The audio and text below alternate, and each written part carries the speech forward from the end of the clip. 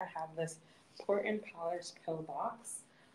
I just took my vitamins this morning. I really love this brand because it, it's a right, really nice, sleek pill box. Doesn't look, it's just like very dull, and it's pretty big too, so it can fit a lot.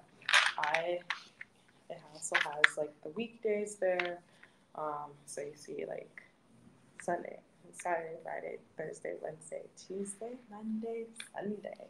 Um, and thing about this is, I really like how um, I can fit more than one pill in there because if you leave it to me and I just fill the box up like every single week, I'll get tired of it. Like I'm able to fit like four of my multivitamins into it, so um, that is very cool. And I'm able to just like pop this into my bag whenever I'm traveling, so I'm not missing any of my vitamins as I'm going along. Um, and then it, it's just a nice design. It's very sleek. It's not. If you get it dirty, it's easy to clean. You would be like, you you would think that like having a white pill box maybe like may be like the most uncomfortable because it's like okay like maybe this is gonna get dirty, but it's like no no no.